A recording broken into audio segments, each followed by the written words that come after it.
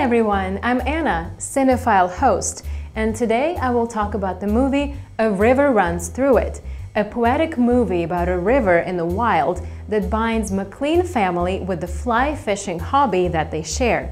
It was the writer's attempt to learn more about his brother's death that called him to write a novel of the same name. The novel was nominated for a Pulitzer Prize. Let's watch the 1993 Best Cinematography Oscar winner, A River Runs Through It. It was 1937. The McLean brothers, Norman and Paul, grew up in Missoula, Montana, with their father, Presbyterian minister John, from whom they learned a love of fly fishing for trout in the Blackfoot River. They learned to cast using a ticking metronome. The boys become accomplished fishermen as their father wished. Norman and Paul are home taught and must follow the strict moral and educational code of their father. But after they grow older, it becomes clear that Norman is more disciplined and studious, while Paul is fun-loving, wild, and a more accomplished fisherman. Upon returning home after being away for six years to study at Dartmouth College, Norman tells his father, John, that he's interested in teaching. And did you find that experience rewarding? That is to say, do you feel this could be your calling? My calling? Meanwhile, Paul has become a reporter at a newspaper in nearby town Helena. But he has angered many of the locals for falling behind on payments to Lola Casino, where a bar is a cover for gambling and prostitution. He's also dating an Indian woman, Mabel, who is deemed inferior by the community. One day, Paul is arrested after fighting a man who has insulted her and Norman goes to get Paul and Mabel out of jail. The same year, Norman meets Jesse at the July 4th dance. After Norman and Jesse go on several dates, they found out that both of them have an incompetent brother. Norman's brother Paul frequents a casino, no matter how hard Norman tried to persuade Paul to get out, but Paul always assures him that everything will be fine. And Jesse's brother Neil is falling in the dungeon of alcohol. Jesse tries to help Neil to get back to normal with her love, but proud Neil always double talks. Jesse and Norman even had a fight for cocky Neil. But soon after, kind Jesse asks for the thoughts of Norman about the same question Norman has for Paul. Why is it the people who need the most help won't take it? I don't know, Jess. One day, Norman shows Jesse a letter from the University of Chicago. It's a job offer for an English literature teaching position. Norman asks Jesse to marry him. Then he tells his family about the great news. But when Norman tells Paul about this job offer and marriage proposal, Paul says that he will never leave Montana. Before leaving, Norman, Paul, and their father go fly fishing one last time. Paul catches a huge rainbow trout, and John proudly tells him what a wonderful fisherman he has become.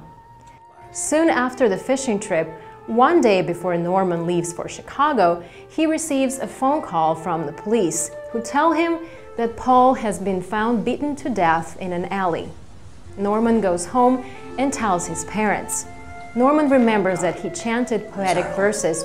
Though nothing can bring back the hour of splendor in the grass, of glory in the flower, we will grieve not, rather find strength in what remains behind. In the primal sympathy which having been must ever be. In the soothing thoughts that spring out of human suffering. Years later, Mrs. McLean, Norman, Jesse, and their children listen to a sermon being given by John, who dies soon after. For it is true we can seldom help those closest to us. Either we don't know what part of ourselves to give, or more often than not, the part we have to give is not wanted. And so it is those we live with and should know who elude us. but we can still love them. We can love completely without complete understanding. The closing scene is of elderly Norman once again fishing on the same river, with director Robert Redford's sound narrating the final lines from the original novel. Eventually, all things merge into one. And a river runs through it.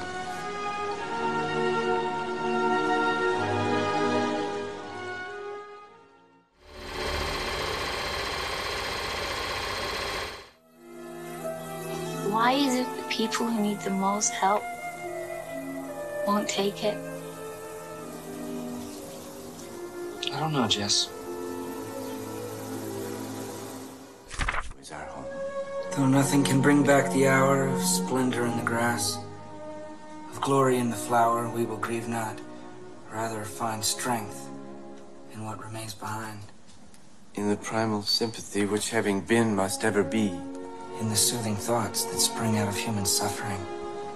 In the faith that looks through death. Thanks to the human heart by which we live, thanks to its tenderness, its joys, its fears. To me, the meanest flower that blows. Can give thoughts that do often lie too deep for tears.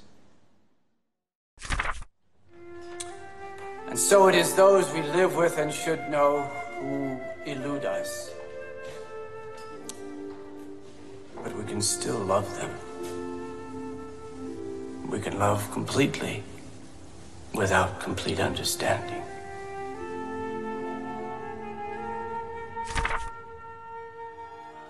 Eventually, all things merge into one. And a river runs through it.